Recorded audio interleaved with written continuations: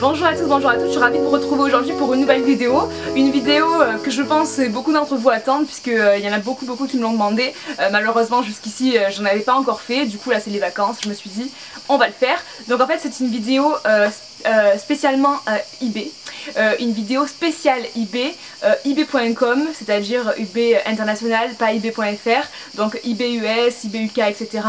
Donc en fait ce que je vais faire c'est que moi je vais vous montrer sur l'ordi comment je, euh, je, cherche ce que j'ai envie de chercher en fait et comment j'arrive à voir toutes les, euh, ventes euh, internationales. après pour les arnaques, je vais aussi vous montrer comment je fais pour essayer de ne pas me faire arnaquer mais après je ne vous garantis pas à 100% qu'il n'y ait pas d'arnaque mais eBay est un site très sûr très sécurisé, euh, on paye essentiellement avec Paypal, donc c'est vraiment très sûr. Si vraiment vous avez un problème, euh, franchement j'ai déjà eu un problème une fois et j'ai été remboursée, il n'y a vraiment pas eu de problème avec ça, donc euh, je vais vous montrer comment j'essaye de faire quand même pour éviter ça, ça m'est arrivé qu'une fois sur les pratiquement 100, 100 transactions que j'ai effectuées avec eBay, donc c'est très rare, mais voilà, sachez quand même que eBay c'est un site sûr et que même s'il y a un problème avec un vendeur, vous pouvez faire un litige, etc., vous êtes remboursé, n'y a pas de problème. Donc on va passer tout de suite à l'ordinateur, je vais vous faire tout euh, en voix off avec l'ordi et euh, on va voir tout ça. Alors moi j'utilise Google Chrome, donc pour le moment je vais vous montrer avec Google Chrome comment on fait ça. Donc vous ouvrez une page internet, sur le côté, euh, à côté de la barre d'adresse, vous avez soit une clé à molette, soit un bouton un peu comme moi avec plusieurs traits. Vous cliquez sur paramètres, normalement vous c'est en français, moi c'est en anglais parce que justement j'ai changé la langue, mais vous cliquez donc sur paramètres, Ensuite, une fois que vous avez la page qui s'affiche, vous cliquez sur voir plus de paramètres si vous ne voyez pas la langue, puisque moi je ne la vois pas, donc je clique sur plus de paramètres. Voilà. Je cherche euh, la catégorie langue, donc pour moi language, puisque mon ordinateur est déjà en anglais. Cette étape sert à enlever les restrictions dues à la langue. Ensuite, là vous voyez, j'ai anglais US et anglais. Vous, vous devez avoir français. Donc vous cliquez sur add, sur ajouter une langue. Voilà, vous avez euh, un petit euh, dérouleur là qui se déroule, vous avez toutes les langues possibles. Donc là, vous cherchez anglais et ensuite vous ajoutez aussi anglais US. C'est pour pouvoir voir tous les articles US sur eBay, etc. Donc là, comme vous voyez, j'ai ajouté français. Et après, pour le mettre en langue par défaut, vous cliquez sur le bouton euh, où est la souris, euh, c'est-à-dire choisir ce langage en par défaut ou quelque chose comme ça. Donc vous cliquez dessus lorsque vous avez, lorsque vous êtes dans anglais US vous cliquez sur ça.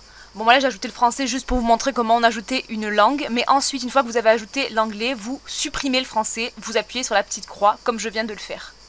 Ensuite, une fois que vous avez changé la langue, vous allez pouvoir tout trouver sur eBay. Euh, sur eBay US, vous n'allez plus avoir de restrictions de ce côté-là. Donc là, je me suis connectée sur ebay.com, comme vous voyez, et là, vous trouvez absolument de tout. Pour chercher, c'est très simple, il suffit juste de euh, traduire ce que vous avez envie de chercher en anglais. Par exemple, petit exemple tout simple, actuellement, voilà, là je vais chercher des maillots pour cet été, donc je vais taper fashion swimwear euh, de manière à essayer de trouver eh ben, un large choix. Donc fashion swimwear, c'est large et euh, voilà, vous pouvez trouver, vous voyez, vous trouvez tous les maillots un peu tendance de cette année.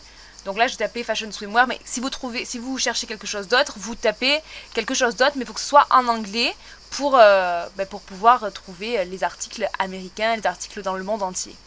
Là, je tape Disney iPhone 4, donc c'est pour trouver mes coques. Je procède toujours comme ça lorsque je cherche quelque chose de précis.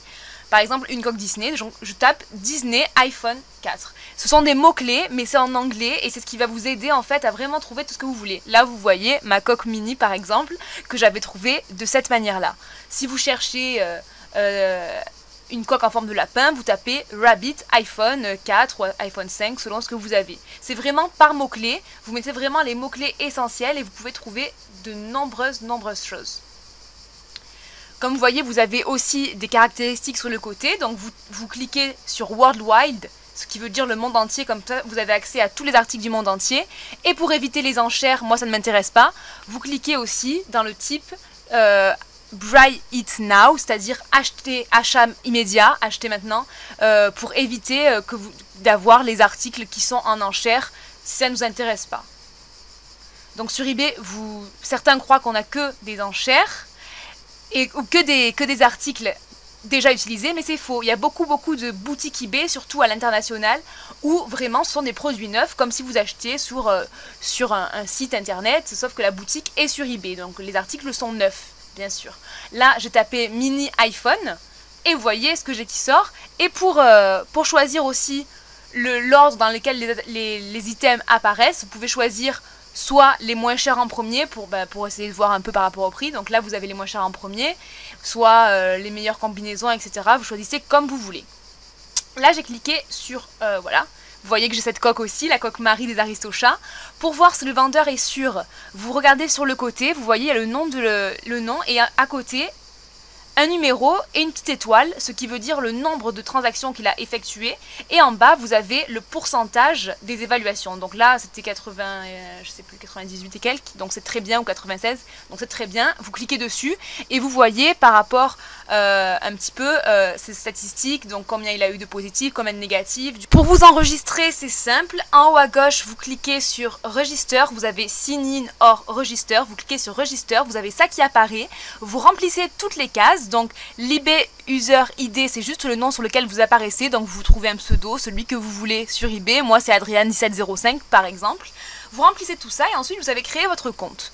Ensuite, quand vous faites des achats, vous devez absolument laisser une évaluation au vendeur une fois que vous avez reçu vos articles. Vous avez un onglet en haut euh, My eBay, vous cliquez et vous cliquez ensuite sur Summary. Ensuite, vous tombez sur le résumé de tous vos achats que vous avez fait récemment. Donc là, vous voyez, il y en a beaucoup. Une fois que vous en recevez un chez vous, vous cliquez sur le côté sur Leave Feedback. Et là, vous évaluez l'objet. Euh, donc vous mettez les étoiles, vous écrivez un petit mot. En fait, c'est pour les autres utilisateurs, euh, pour bah, justement pour tester euh, la sûreté du vendeur. Donc c'est très important de le faire. Il euh, faut penser aussi aux autres et à ceux qui du coup bah, nous ont aidés euh, grâce à leurs évaluations. Ensuite, si un jour vous avez un problème, eBay Summary et à côté de l'article c'est More Actions et Resolve a Problem. Si vous voyez que ça fait pratiquement un mois ou si ça fait ça a largement dépassé la date de livraison estimée, vous faites un, en quelque sorte, vous ouvrez un cas eBay, c'est-à-dire que euh, voilà, vous, voulez résoudre un problème de façon à être remboursé ou de façon à ce qu'on vous explique qu'est-ce qui s'est passé, pourquoi ou quand vous le renvoie. Donc peu importe, vous cliquez sur Resolve Problem. Ensuite, vous avez plusieurs options. Vous cliquez sur celle qui vous euh, concerne, c'est-à-dire euh, je n'ai pas reçu l'objet, etc. Alors c'est tout en anglais. Alors prenez bien votre traducteur parce qu'il faut parler uniquement en anglais. Voilà. Et ensuite, vous avez aussi euh, vos, euh, vos, évaluations à vous parce que les vendeurs vous, vous, euh, évaluent aussi sur votre capacité de client. Donc voilà, vous avez aussi des évaluations. Et voilà pour cette vidéo, c'est terminé. J'espère vraiment que ça en aura aidé beaucoup d'entre vous. J'espère vraiment que, que, ça vous aura été utile et que maintenant vous n'aurez plus de crainte à, commander sur eBay et surtout que vous arriverez à trouver ce que vous avez envie de trouver.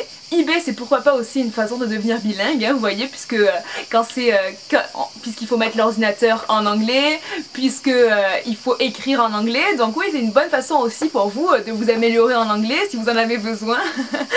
donc voilà, j'espère vraiment que ça vous a plu, je vous fais de gros bisous et je vous remercie d'avoir regardé cette vidéo. Si vous avez des questions, n'hésitez pas. Ne, sachez que maintenant j'ai un compte Ask donc euh, mon utilisateur c'est Adrian Trends tout attaché. Donc si vous avez envie de me poser des questions, euh, Ask c'est un bon moyen pour poser des questions, pour que je puisse bien les voir et que je puisse répondre? Je vous embrasse, à très vite, ciao